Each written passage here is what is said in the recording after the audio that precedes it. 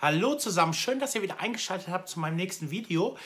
Diesmal wieder ähm, nach längerer Zeit eine Folge Meine Comic-Neuzugänge, in denen ich euch die Sachen präsentiere, die ich entweder wie hier ein Ding als Rezensionsexemplar bekommen habe oder mir halt selbst gekauft habe, wie das hier auf die meisten zutrifft, ähm, habe ich ja gesagt, dass diese, dieses Format nicht mehr so oft kommt wie früher weil ich ja äh, auch ein bisschen sparen muss, äh, wie jeder von euch wahrscheinlich. Und ähm, habe aber ein paar Sachen mir in den letzten Wochen gekauft, sodass sich wieder eine Folge lohnt. Hier ist auch, fangen wir einfach mal mit dem Rezensionsexemplar an. An dieser Stelle nochmal Danke an den Verlag und zwar an Retrofabrik für den sechsten Band der Masters of the Universe.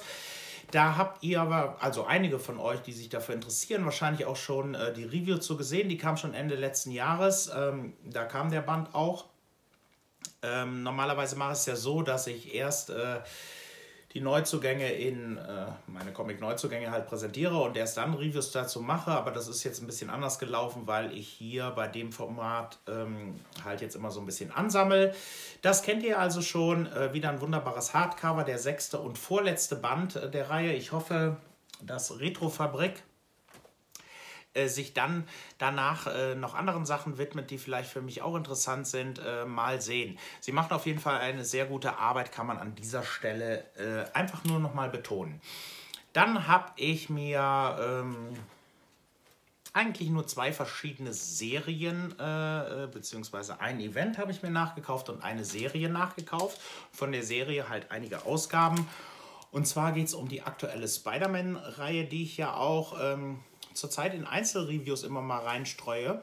Bin ich ja lesetechnisch, ähm, ja, ich habe jetzt also das Video zu 34, Heft 34 schon aufgenommen, bis Heft 35 habe ich gelesen. Das hier ist Heft 51, das ist schon der nächste Run, also der ganze Nick Spencer Run geht ja bis 49 und ab 50 fängt halt der Zap Wells Run an. Zap Wells, den man auch von früher noch kennt als Autor, hat ja dann die Spider-Man-Reihe übernommen. Nummerntechnisch lief sie weiter, läuft auch bei Panini weiter ähm, im Moment. Dazu später noch mehr. Heft 51 ist also schon aus dem nächsten Run, aber immer noch die aktuelle Reihe, die seit 2019 bei uns läuft. Äh, und in den USA, glaube ich, seit 2018, also dieses Volume ist das. Äh, hier Heft 52 und wir sehen schon, ähm, das wird innerhalb des Runs auch erklärt. Ich weiß noch nicht wie und warum und weshalb, habe ich ja noch nicht gelesen, aber ähm, wenn man das hier sieht, äh, das ist das Kostüm, äh, was damals Ben Riley als Spider-Man hatte und das ist auch Ben Riley, der da eine äh, Hauptrolle spielen wird. Äh, eventuell als Spider-Man ja zurückkommt. Also ich weiß eigentlich schon, dass er als Spider-Man zurückkommt. Ich weiß nur noch nicht, wie das zusammenhängt. Hier äh, auch das Kostüm, aber moderner. Bei dem anderen weiß ich nicht, ob es wirklich das Klassische ist. Sieht von vorne wie das Klassische aus, könnte aber auch schon dieses Moderne sein. Es ist etwas moderner gemacht, wieder als das äh, damals Moderne. Heft 53 hier gegen Craven. Craven eröffnet die Jagdsaison. Craven ein immer gern gesehener Gegner von mir, zumindest im regulären Universum. In meinem Reread zum ultimativen Universum habe ich ja letztens gesagt, dass ich ihn da etwas... Äh, ja nicht so gut, also auch schon logisch in der Art, wie sie ihn angelegt haben, aber nicht so gut wie im regulären Universum finde. Ähm, hier trifft er auf Scarlet Spider, die er ja selbst mal war. Das müsste dann ja Kane sein, der andere Klon von Peter Parker. Das ist ja kein großer Spoiler, weil das werden langjährige Spider-Man-Fans wissen. Zumindest die, die die Klonsaga in den 90ern gelesen haben. Dann äh, Heft 56. Ähm, hier hat es wieder mit Dr. Octopus zu tun. Äh, mir gefallen auch die Cover sehr. Überhaupt auch jetzt schon, also in der, wo ich dran bin, in den 30er Heften, gefallen mir die Cover sehr gut. Auch dieses Cover hier finde ich richtig schön. Ähm, Heft 55, der Krankenhauskiller. Und man sieht halt durch die Fenster äh, in einem Krankenhaus alles mit Spider-Man sozusagen umwoben. Äh, gefällt mir sehr gut, wie sie die Cover gestalten.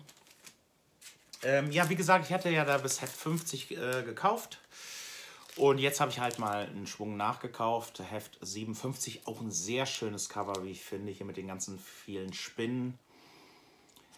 Also ich hatte mal überlegt, äh, umzusteigen auf die Paperback-Serie dann. Aber das weiß ich noch nicht, weil da kriegt man halt diese Cover ja dann nur innen und hat halt außen nur ein Cover. Und deswegen, das ist auch das Schöne an den Heften. Und ich mag ja Hefte auch sehr gerne dass du halt so viele schöne Cover hast. Du hast ja innen auch noch ein weiteres Cover vom zweiten Heft, es sind ja immer zwei Hefte drin in Deutschland. Die Nummer 58, äh, ja, Queen Goblin, lang lebe Queen Goblin. Was es damit auf sich hat, weiß ich halt auch noch nicht. Aber auch ein schönes Cover. So ein bisschen so halten, dass es nicht ganz so spiegelt. Und dann das letzte Spider-Man-Heft, was ich mir dann noch geholt habe, ist auch, müsste, also wenn ich das Video jetzt relativ zeitnah rausbringe, müsste es noch das ähm, aktuelle sein, Heft 59. Und was ich sagen kann, äh, das habe ich ja eben schon erwähnt, dass ich was äh, dazu sagen will, dass es ja nummerntechnisch erstmal weiterläuft. Diese Reihe geht nur noch bis Heft 61. Dann gab es in Amerika auch ein, ähm, neue Nummerierung. Ich glaube, die führen zwar ihre Legacy-Nummerierung, also dieses diese zweite Nummer, die dann die Gesamtanzahl von Amazing Spider-Man Heften immer anzeigt, äh, weiter. Aber als Hauptnummerierung äh, startete da auch eine neue Nummer 1 mit, glaube ich, John Romita Jr. als Zeichner oder nicht, glaube ich, das weiß ich sogar. Ähm, ja, und in Deutschland wird dann, ich weiß nicht, wie es ist, ob sie dann weiterhin Hefte rausbringen. Der Markt verändert sich ja im Moment. Aber äh, auf jeden Fall wird diese Reihe mit Heft 61 äh, dann zu Ende gehen. Das hier ist Heft 59 wieder mit der äh, ja, Goblin Queen oder Queen Goblin.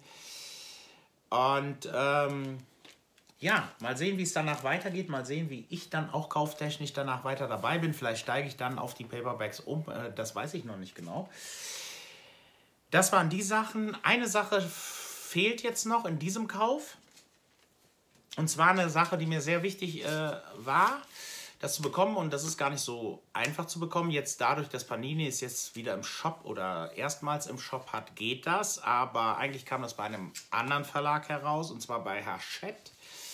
Die schwarze Collection geht ja noch weiter. Die meisten Sachen äh, kaufe ich da natürlich nicht mehr. Aber ähm, X-Men, das Mutantenmassaker 1, da muss ich natürlich zuschlagen. Ist eine deutsche Erstveröffentlichung, soweit ich weiß äh, gibt es halt zwei Bände. Der zweite kommt im März, den hole ich mir auch. Also habe ich vor mir, den auch zu holen. Und die habe ich schon gesehen, als die äh, bei Panini noch nicht verfügbar waren. Die sind ja immer etwas später verfügbar. Und bei Hachette halt schon draußen waren, da wurden die, äh, ja, gingen die Preise auf einmal hoch. Und äh, weil das müsste halt eine Erstveröffentlichung sein. Und zwar ist das ein ganz berühmtes Event aus den 80ern, müsste so Mitte der 80er äh, sein also die Zeit unter anderem, wo noch John Romita Jr. an äh, Uncanny X-Men dran ist. Hier als Künstler Chris Claremont natürlich der Autor, Louise Simon, Simonson auch Autorin, Walter Simmons eventuell als Autor oder als Zeichner, der macht ja auch mal gern beides. Äh, John Romita Jr., dann Terry Showmaker, Jackson Guys kenne ich auch, äh, also den Terry Showmaker nicht so, aber Jackson Guys, dann Selbu Chema und John Bogdanova kenne ich auch. Äh, ja, das geht halt durch die verschiedenen, das geht hier durch Uncanny, X-Men, X-Factor, New Mutants, Mighty Thor. Deswegen ist auch Walter Simmons dabei, der ja diesen berühmten Thor-Run zu der Zeit hatte. Und Powerpack 27, das sind so Kinder, die in Träumen vorkommen. Äh, da gab es auch mal eine Reihe. Ähm, auf jeden Fall ja, das berühmte Mutantenmassaker, äh, das wollte ich unbedingt haben. Also ich sammle ja so ein bisschen, also ich versuche halt auch so ein bisschen natürlich X-Men-Events, die dann auf Deutsch bisher nicht erschienen sind, ähm, aus den 80ern und 90ern teilweise noch zu bekommen. Äh, Freue mich aber immer, warte da immer so ein bisschen ab, ob das nicht doch auf Deutsch mal kommt. Ja, und bei Chat kommt jetzt zumindest das hier und zwei Bänden und wie gesagt, da musste ich dann zuschlagen ja, das war schon wieder mit dieser Folge. Danke für eure Aufmerksamkeit. Dann schreibt ihr mir mal rein, was ihr euch davon geholt habt, was für euch interessant ist. Und ähm, ja, dann äh, wünsche ich euch natürlich noch einen schönen Tag oder schönen Abend, je nachdem, wann ihr das Video sehen werdet. Bis dann. Ciao.